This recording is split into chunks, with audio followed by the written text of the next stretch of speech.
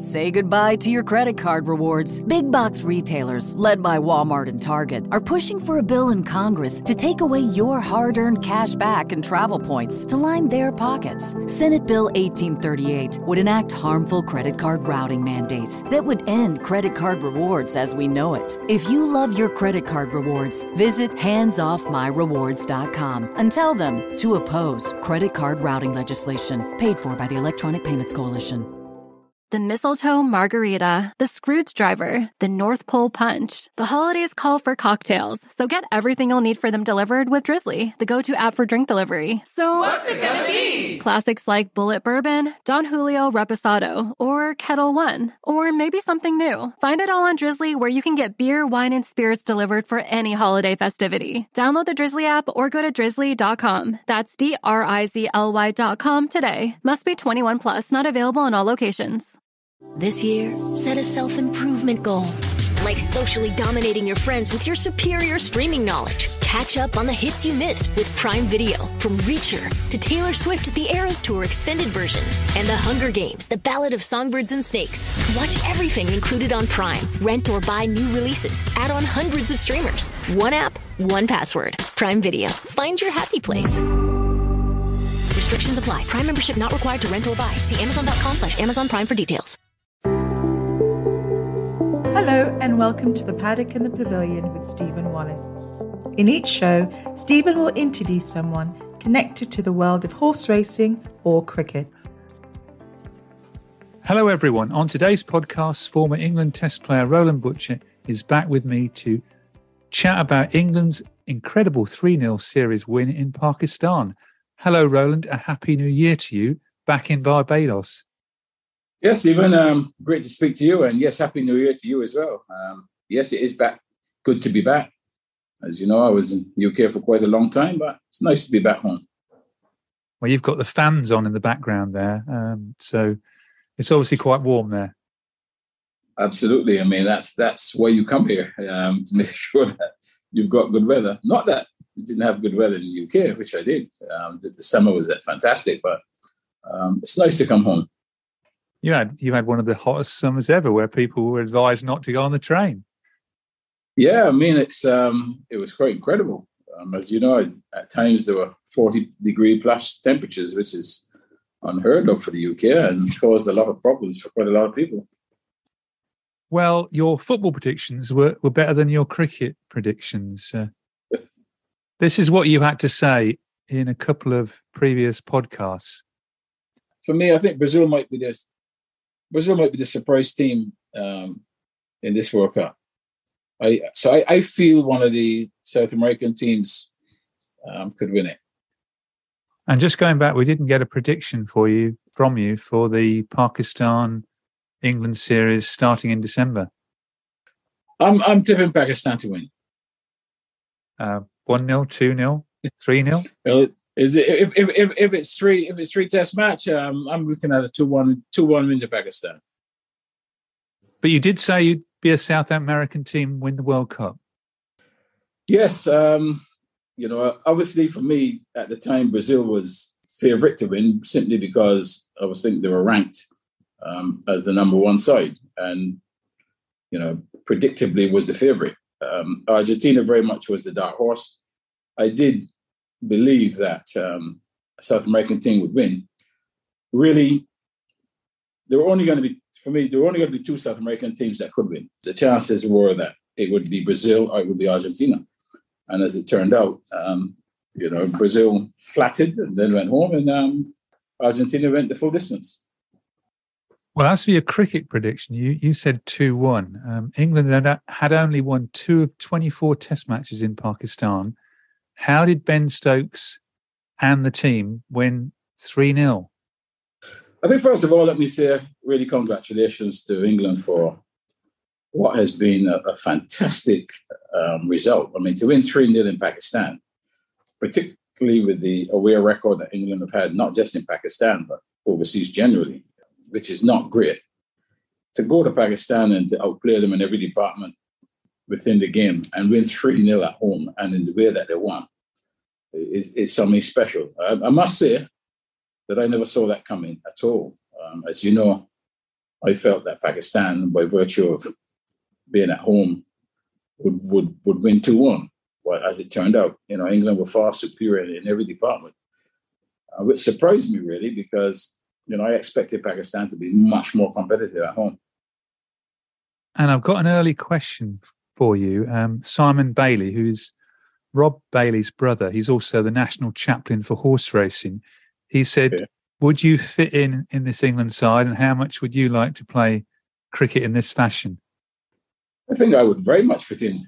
Um, you know, the fact that you're allowed to, you know, play play freely regardless of situations, um, you know, is, is a great thing to have and know that you've got the backing of um, of the people in charge. I guess back in the day, um, even though the coach and captain were supposedly in charge of of teams, uh, I guess more sway was held by the board or the or the selectors in terms of, of the team. So captain and coach perhaps did not have the opportunity to stamp um, their philosophy on the team. I think clearly what is happening with England is it's a situation where captain and coach are the captains of the ship. Uh, so they're able to stamp the philosophy.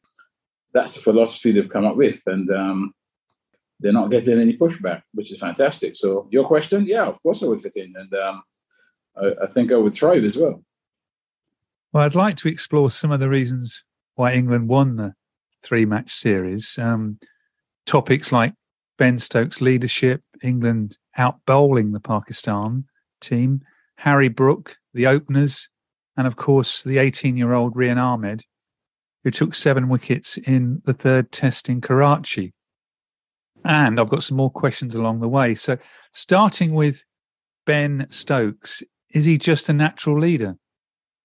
Well, I mean, is there such thing as a natural leader? I don't know. I, I think the timing for Ben Stokes to take over um, was pretty important.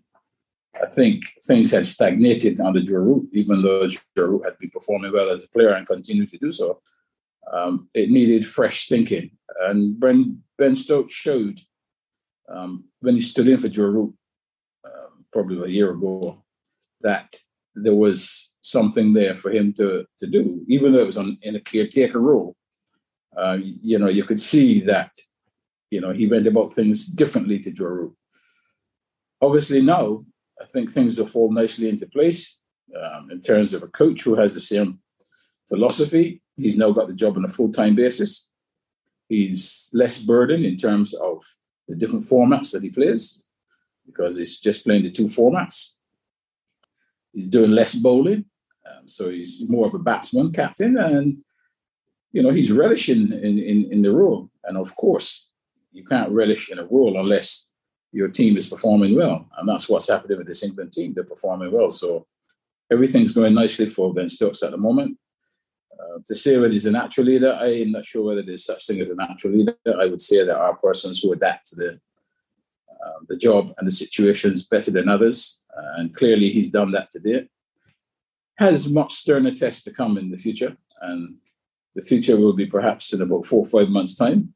Um, you will then find out just how good a captain he is and just how good a team the England side is. But up until now, I think you know he's done everything right. Well, he's won nine of the last 10 test matches. And in the Pakistan series, as you say, he didn't do much bowling. He took one wicket and he scored 173 runs. Do you think the bowlers feel more comfortable with him as a captain? They seem to bowl better for him than they were doing for Joe Root. Think the bowlers, like the batsmen, um, are given the freedom, I think, by the management to express themselves and that certainly that clearly will help the players because uh, they're not playing with any fear. And you know, when you play with fear, is when you get tense, you make mistakes because you're afraid to make mistakes. If you're given the freedom to just play and, and whatever happens, happens, um, you get much better performances. You may get some bad ones as well, but generally, you know, players will play with confidence, and that's what's happening right now, including the bowlers. Um, you asked me the question about Pakistan. I, I think England surprised Pakistan completely. Um, I don't think Pakistan really expected this sort of uh, approach by England. You know, very, very aggressive with the bat, looked to score quickly. Um, it didn't help Pakistan producing that first Test match pitch. Um, that's possibly the worst pitch that they could have produced at home against a team like England who are going to be aggressive with their new style of play. Um, I would have thought that Pakistan missed the boat there, really, because in actual fact, what they should have produced in that first test match is a pitch that turns um, appreciably. Use your advantage, um, your home advantage, particularly when you're missing, you know, Shaheen, Shaheen Shah Afridi. The last thing you can produce is a, is a flat, flat pitch because you just don't have that extra pace um, to make up for, for the flat pitch. And England capitalized on that. That pitch was perfect for England in the first match because they could really then enforce the way that they played, and they did. Uh, Pakistan were always on the back foot after that, couldn't couldn't recover. But you know, I think many many reasons were there for that defeat. But I think um, Pakistan contributed significantly um, to their demise, as well as England played. Uh, I think England caught them by surprise definitely from the start of the series. And once they got their noses in front, um, there was no letting up. Yeah, first test. I mean, the first day's play with 14 runs off the, the first over, England scored 506 for four off 75 overs. Ridiculous, absolutely ridiculous. Um, but uh, as I said, you know, the surface allowed that, you know, to happen. One of those players that got a century in the first test at Rawalpindi, where England had four, in fact, in that first test, was Harry Brook, who scored 468 runs in the series, averaging 93 at a strike rate of 93. Is he England's first world class batsman since Joe Root? Still very, very early to say. Um, based on one very good series, um, you know, you cannot say that he's going to be a world class player like Joe Root. Joe Root has done that over many, many years. So what has happened with Joe Root is no fluke. Joe Root has been very, very consistent, even at times when England have been struggling. So, you know, he's still got a lot to do. What I would say is that he's made the perfect start. Um, all it be in very good conditions and things going in your favor.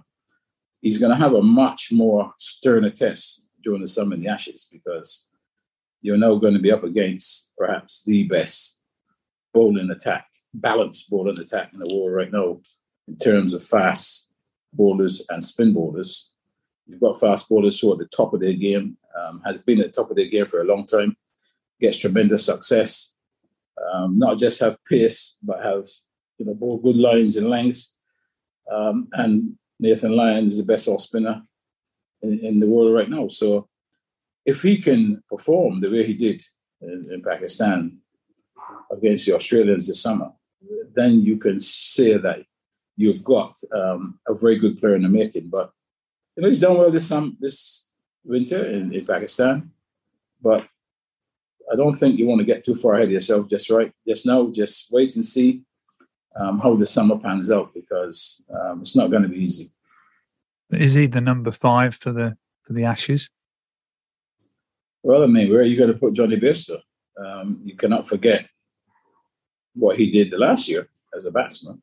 Um, you know, he he was in tremendous form until he had his accident. But can you bypass a player of that stature if he proves his fitness? Or, I mean, how do you deal with that? It's a nice position to be in, uh, where you've got, you know, the luxury of choosing someone who had such a stellar year, uh, and also a young man who's just come in and, you know, set a different standard. So it's a nice position to be in.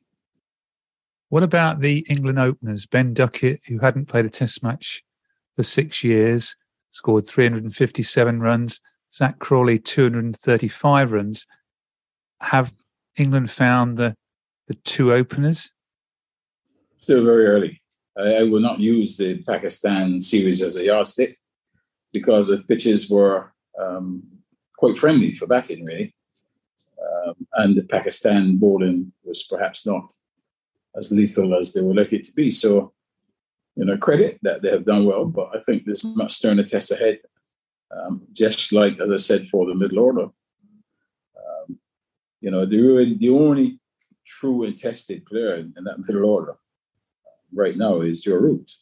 Uh, don't let's forget that that is the case. Joe Root has done it for 10 years plus. So, you know, we know that, you know, even though he may have a lean time at some stage, that, you know, he will come through. But, you know, the others are still untested. They've done well in circumstances, but the big test is yet to come. And all will be revealed, uh, I guess, by the end of the summer. But bowling wise, England seemed to out bowl Pakistan, which no one expected. Yes, they did. And, um, you know, that, that has to be a feather in their cap to actually outbowl Pakistan um, in Pakistan.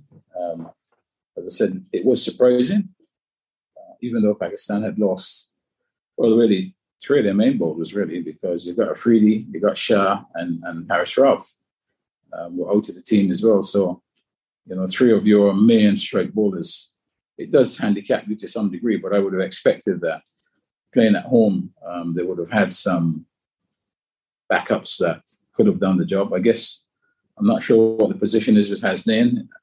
I know he had some issues with his action. Um, a young fast bowler who came on the scene about a year ago. Um, so really, you know, their best four fast bowlers, and those guys were a pass. Those those four um, were not available to them. But I expected that the back, they would have had other backups as well. What were your thoughts though on how Jimmy Anderson, Robinson, and Mark Wood bowled? Yeah, as a group, um, they bowl well, and that's what you want. You want a group to, you know, any team that just has one or two guys performing and the others not performing, um, you know, success doesn't come that easily. But I think the formula worked quite well for them. You've got Mark Wood out and out, um, raw pace. You know, Jimmy Anderson, you know, he's a wily old bowler, much slower than he was years ago, but still has good control and variations. Um, I think Robinson added um, something to the to the, the attack, and um, yeah, so they, they, had a good balanced attack um, who performed uh, maybe even better than they thought they would uh, in those circumstances because it's not easy to outbowl um, Pakistan in Pakistan, but they've, they've done it. Ollie Robinson now building up a, quite a good test record. He's got 60 wickets at 20. Yeah, so you know he's, he's done very well. I mean, and we know he's had some difficulties with other things as well, but to I guess, achieve what he's achieved in a, in a very short space of time, in the backdrop of things that have happened in his life um, is commendable. So I think that, that that is an asset really for England right now. The England spinners, uh, Jack Leach has now got over a hundred te- Test wickets. Did did he bowl a bit short at times though? Well, I mean, Jack Leach is Jack Leach. You know what you get with Jack Leach. He's going to be he's going to be tight. Um, you wouldn't say he's a you know, he's a match-winning spinner. Um, you know, he does the job. Um, and really, in Pakistan, he didn't have to be the match-winning spinner. He just really needed to keep things tight uh, because your seam bowlers were doing the job for you. So um, his role was not that critical as it as it would have been otherwise. So, uh, you know, I guess obviously he's made steady improvements over the last year. England have persevered with him. And, um, you know, I guess he's starting to repair that faith. He is more supported by Ben Stokes, and, and Stokes does keep the field up a lot more when when he's bowling. Yeah, I think perhaps Root didn't have um, you know enough patience with him. Um, he's you know he I guess he wouldn't get him out the attack quite quickly if he, particularly if he went um, for runs um, quickly. I mean, you may remember the Ashes series in Australia, um, where the Australians batsman got stuck into him very, very early. Uh, and that created a problem for Joe Root, uh, who didn't perhaps back him to, to continue bowling, but pulled him out the attack quite quickly. Um, yeah, I mean, a new captain can have a, a different um, approach on a player because no two captains think alike, and obviously, you know, Joe Root is obviously. I mean, obviously, Ben Stokes is prepared to give him more opportunities um, to bowl, even if he's not bowling well. Um, but you know, as I said, no two people are alike. Root can't not be like Stokes. Stokes can be like Root. They're two different people. I asked you on one of our recent podcasts because you'd been commentating around the country if England had any other spin bowlers, and we we found one in the third test when Rehan Ahmed got seven wickets and five wickets to to win the match in Karachi. Yeah, I mean they did well, and the, the timing of playing him was was obviously right because just like the Pakistan spinner as well, um, the new boys actually surprised both teams because you know, suddenly Pakistan's newest spin bowler was the main spinner.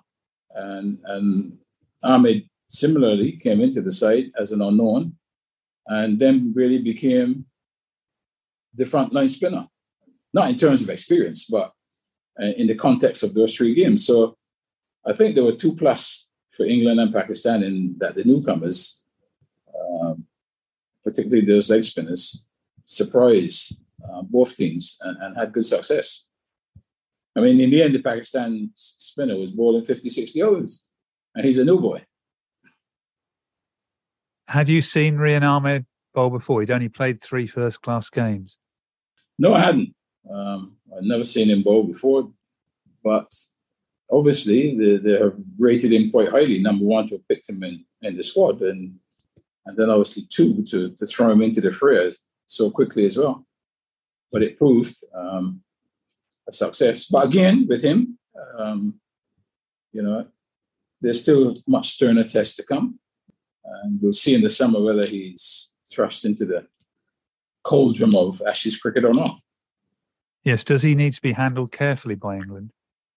Well, all young players need to be handled um, well. I mean, because someone shows a bit of talent doesn't mean that they've, they've made it all they've shown is that they've got the capability, if handled properly, um, to do the job. So, yes, you have to handle him very carefully so that you get the benefits over the years. Uh, there can be a, a, desire to, to rush the youngster too much, believing that he's the finished product. And we've seen it too often around the world where people have come on the scenes as a very hot property and they've also disappeared just as quickly because of the way they have been handled. I think what England have done after this series left them out of the next one, I think is is good thinking. Yes, he's not, he's not going to New Zealand, and uh, one player who did play against New Zealand back in 1949 was Brian Close, who was the youngest player to play Test cricket for England. Now, did you play against Brian? Yes, I did. Um, I know. I know Brian. Uh, Brian was very much at Somerset when I was um, in my early days, and um, yeah, I mean, very tough as a fearless guy. Um, you know, who had fought many battles over the years, lost quite a few. Um, but um, no, I mean, obviously, that's a long, long time, and and Ahmed has eclipsed that, which is which is something special. Say goodbye to your credit card rewards. Big box retailers, led by Walmart and Target, are pushing for a bill in Congress to take away your hard earned cash back and travel points to line their pockets. Senate Bill 1838 would enact harmful credit card routing mandates that would end credit card rewards as we know it. If you love your credit card rewards, visit handsoffmyrewards.com and tell them to oppose credit card routing legislation paid for by the Electronic Payments Coalition. Well, I've got a question for you now from uh, Bill Hern, who you know, who wrote yes. Football's Black Pioneers with uh, co-author David Gleave, and he's asked asked me if you were captain in a side against England, how would you counter England's out and out aggressive strategy? I would want the Australian attack for sure. um, if I had the Australian attack I, as a captain, I wouldn't have to do much because those guys know what to do. Um, uh, it would just be a case of rotating them. Um, I think right now that is the that is the test. That's the acid test for um for England. That that relentless pace attack that Australia has right now. Um, so tell tell Bill that I, as captain, all I would do is spin the toss and and leave it to Pat Cummins and the others. Well, thanks very much for the question, Bill. I've got another question now, actually, from David Fountain, who asks, "What did you think of Ollie Pope's performances behind the stumps, and who is England's best wicketkeeper?" I think, first of all, uh, I mean, Foakes is the best wicketkeeper. There's no question about that. Um, I could understand Pope keeping wicket because you had to balance the side. You cannot, you know, if if you were to bring Foakes in, uh, then who would you leave out of the side? So you know, it made sense in this one-off situation. Uh, when I say one-off, I mean one-off tour situation. That um, you know, someone like Pope did the job because what it did was, you know, it, it lengthened the batting. Not that I'm saying that Foakes is a, a bad batter because he's not. He's proven that he's a very capable batter but it, it, you know it lengthened the batting. Um, I don't believe that that is a strategy that England would use forever and a day. Um, I think it, it was appropriate for this particular series, and it worked out for them. Yeah, Ollie Pope did still score 238 runs in the series. Um, is he now settled as the England number three? Well, again, I mean, you know, good signs saw he batted quite well in the first test against South Africa last summer. Lords on a difficult pitch. When I say difficult, it was difficult in terms of the attack. South Africa bowled really well um, in that test match. You know, he was able to weather that. So the signs, the signs were good. Um, the other thing is, uh, when Jonny Bairstow comes back, what do you do with him? I mean, do you give him the gloves? Do you give him what? What? What happens? That is a it's a nice position to be in where you've got to make a decision whether you know you give Bairstow the gloves or you give continue with Pope. Um, I think long term they'll have to have a a much more competent keeper because for sure against the Australians you're going to be in the field a lot longer than than against a lot of other sides. So you're going to need you know a, keep, a real keeper who's going to be able to keep for those long periods. They've got time, they've got several months to, to work it out um, before the summer comes around. Yes, England off to New Zealand shortly. The first test out there at Mount Maunganui on the 16th of February, second test at Wellington on the 24th of February. What do you think our chances in that two test series are? Well, I expect that um, there will be very, very tough um, games. Uh, I believe that the fact that McCullum going back to New Zealand, that the New Zealanders will raise their game um, because they will not want to be beaten by um, one of their own, so to speak. So I expect, you know, it's going to be tough. For New Zealand, really, the key is going to be whether they can get their attack firing. I'm not sure whether um, what's happening with Trent Boult. I mean, is he in the squad? Is he is he available to play? I'm not sure what the position is, but they're going to need to get their attack um, up to scratch because what we do know is obviously in New Zealand that pitches are generally good for batting. Uh, even though the pitches look green, you know, they perform. You know, I remember saw a green pitch last year and um, Kane Williams still got 250 on it. So they will know that um, batting and with England's new approach, they're going to have to be at the top of their game with the ball. So it is if they can get their attack um, fit and firing, and if they can, then I think you've got a good series on. But obviously, England will be extremely confident going into that series. Yeah, England have brought Stuart Broad, and Matthew Potts back, and, and Mark Woods being rested, and also Dan Lawrence is back in the in the squad. Yeah, yeah, and obviously rotation of, you know, it's nice to have players in the wings that you can rotate. And um, you know, with Jofra Archer coming back now to start playing is certainly be keeping an eye on him for the certainly as far as the summer is concerned. Yes, uh, Jofra Archer back for the uh, one day series against South Africa, which begins at the end of January. Uh, we've mentioned it quite a lot already, the Ashes, which starts on Friday, the 16th of June at Edgbaston. And I've got a question, and we probably covered this anyway, but I, I'm going to get it in anyway. It's from an Aussie who I know, Nathan Gage. Um, he played minor counties cricket for Wales, and he's now the groundsman at Kidderminster Harriers Football Club. And he's asked me, can Bazball work against a decent bowling attack? You can tell he's an Aussie. Well, listen, it's, I mean, they say Bazball, I, I would say a more aggressive approach, um, a fearless approach. Of course, a fearless approach can work against um, top team, but you know you're going to have to be very much more calculated in terms of how and when you use it. I don't think it can be all out attack. I mean, if you if you just go all out attack um, against the Australians, uh, you know you're going to play into their hands because you're not playing against rookies.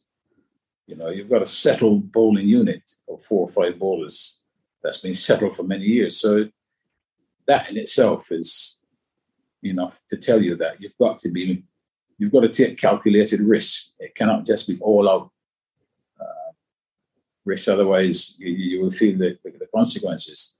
So tell him really, you know, they're going to be, they're going to try to impose themselves against the Australians, uh, but you know, they will meet with stern resistance.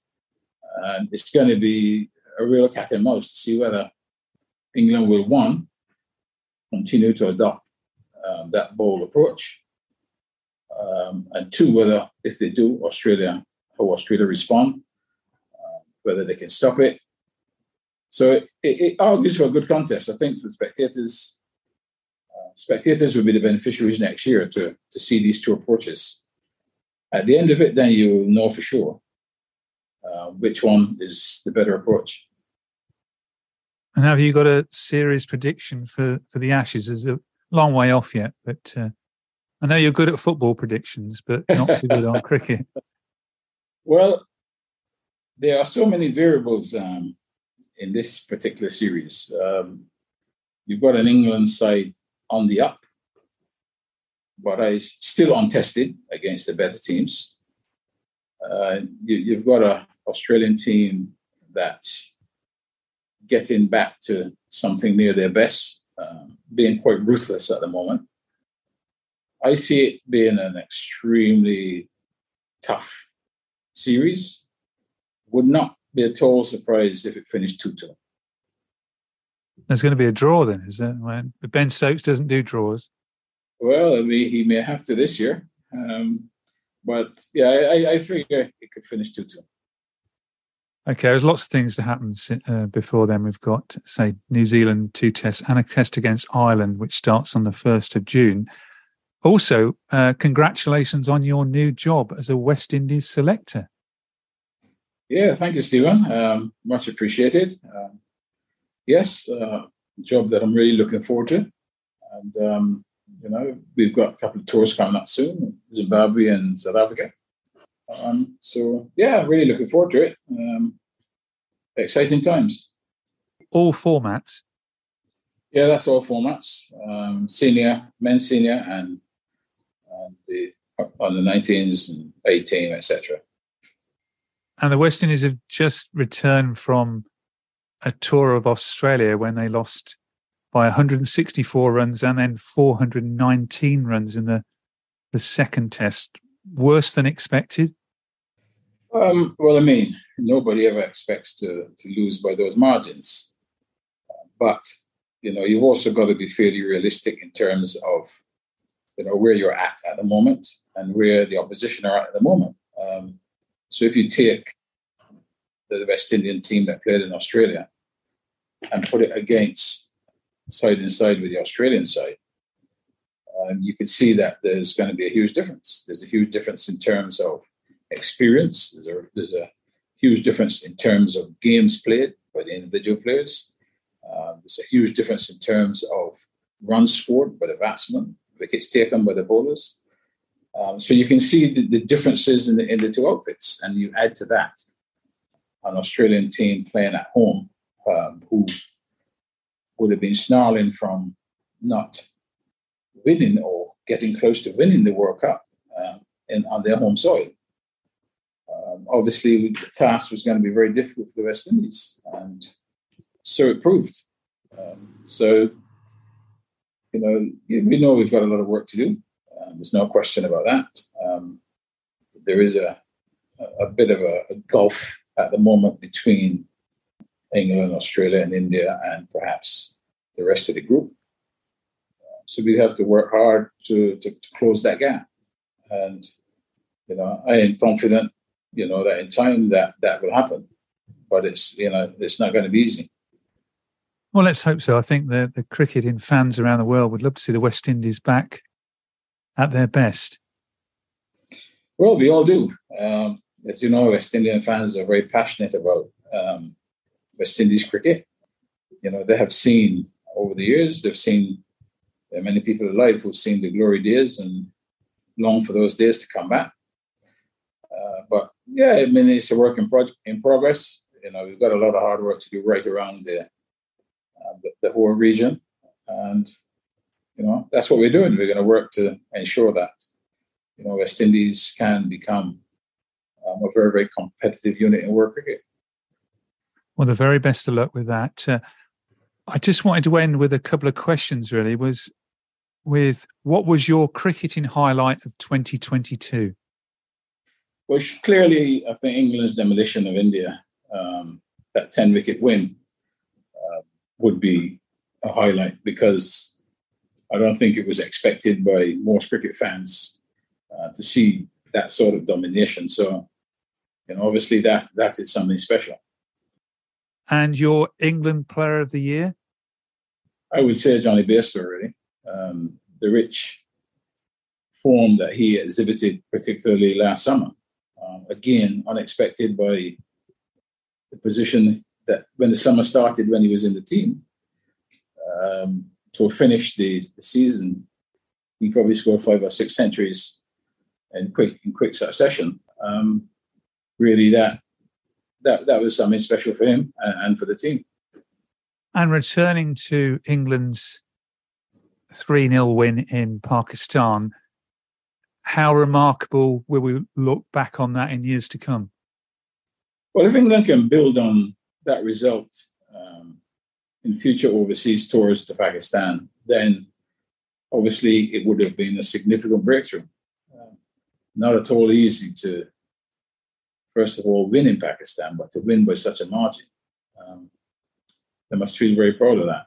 Um, obviously, since then, Pakistan have had various changes, uh, new board, new chairman, etc. So, was that a reaction to the the series, or was that for other reasons? But as we know, things tend to a little bit different in Pakistan. But getting back to your question, I think obviously England would hope that they've turned a corner in terms of playing and getting results on the subcontinent. By that result, they'll be quite they certainly have that in their mind that maybe that was a, a pivotal point um, in, in, in their development.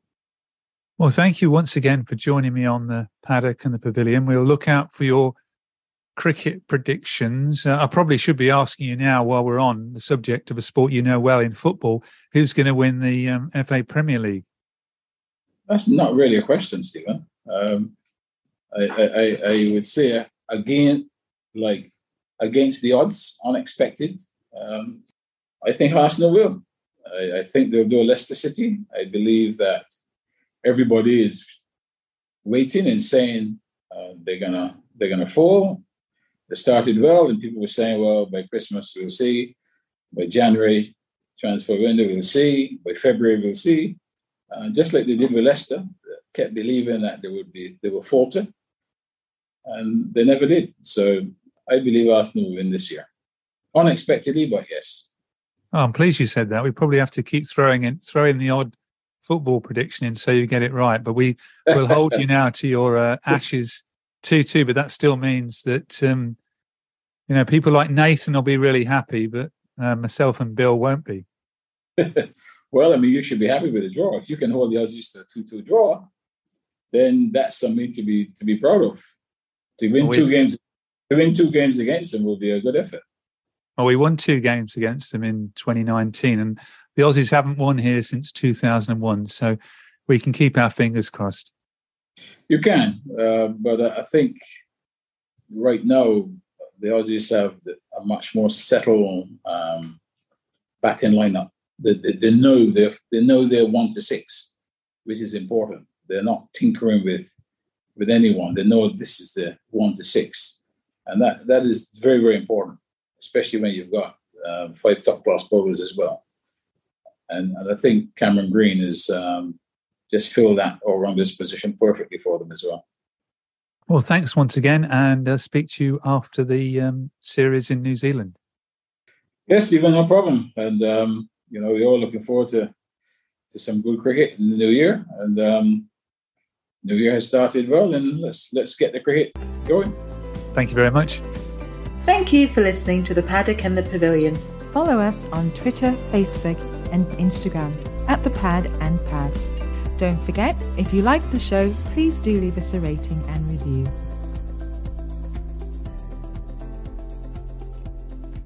Sports Social Podcast Network.